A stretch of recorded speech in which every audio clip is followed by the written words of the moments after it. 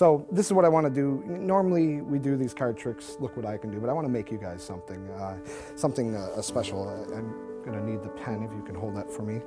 And uh, since this is a, a special day, uh, I'm gonna use two cards. Now, to me, cards are like people, but uh, I think we've got the Queen of Hearts and the, the King of Hearts. So I'm not sure who would be who, but maybe you would be the king and she'd be the queen. I'm just guessing.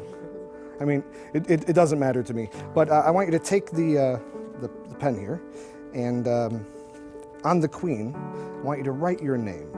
So your name, Haley. Perfect, big and bold right there. Excellent. All right, and you could pass the pen on. Excellent. And Haley kind of gets lost, and you're going to sign the king here, but Haley gets lost in her own little world here. Perfect. And you can put your name there. And the two of you, somehow your worlds collide. You can cap that back up. Excellent. Somehow your, your worlds collide and the two of you meet.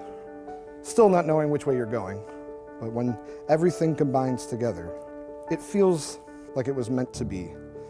Like in this world, things that are separate somehow become one. If you could place your hand palm up, Place your hand palm down and right on top. Perfect. And look into each other's eyes.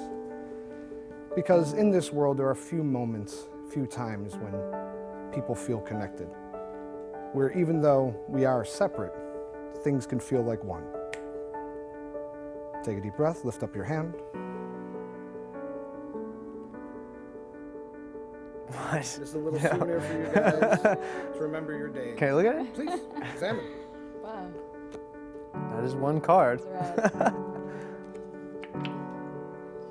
That's awesome. That's so cool.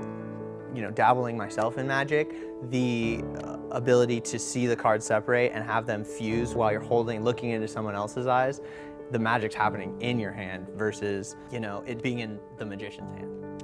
When I turned over my hand and I saw that we had made one card, I felt like it was a piece that I wanted to take home with me and keep because it was an item that we had made together.